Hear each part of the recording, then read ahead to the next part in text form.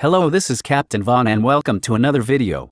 Today's topic is the Subjugator class heavy cruiser, or more simply known as the Subjugator. The Subjugator was a type of heavy cruiser designed by Ruggles Schmonk for use by the Confederacy of Independent Systems naval forces from a discarded SoroSuub Corporation starship design.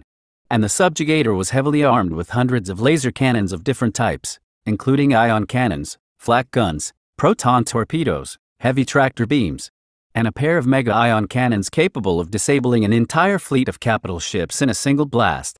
In addition, despite the destruction of the Malevolence, the Separatist Alliance had maintained a small number of subjugators, though only with no more than five left in active duty. However, due to the loss of the lead ship, the remaining vessels of the class were held in reserve by the Separatist fleet and so rare deployments, except in dire emergencies, sources they were scrapped by the end of the war though some believe they found their ways into the hands of criminals lurking in the shadows.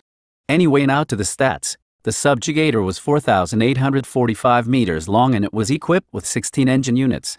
In addition, the vessel could go at speeds of up to 1,050 kilometers per hour, and it was equipped with a Class 2 and a backup Class 12 hyperdrive. The subjugator was equipped with rather heavy armament for a ship of its size, as it was equipped with two mega ion cannons, 500 dual turbo lasers, 20 twin heavy turbo laser batteries, 200 twin light turbo laser turrets, 20 twin medium turbo laser batteries, several flak guns, numerous ion cannons, 400 point defense twin light laser cannon turrets, 10 proton torpedo launchers, 50 total proton torpedoes, and two heavy tractor beam emitters.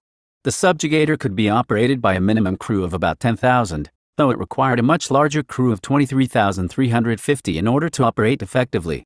In addition, the vessel could carry 60,000 passengers, 144 Vulture droids, 48 Hyena bombers, several Droch-class boarding ships, numerous landing craft, and other utility vessels and ground vehicles.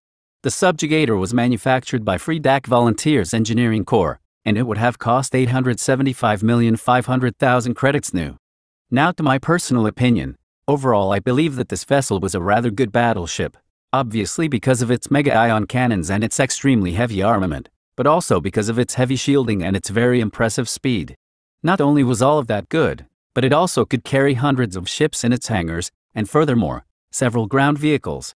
There really was no real downside to this vessel, apart from the fact that its mega-ion cannons were actually pretty easy to disable.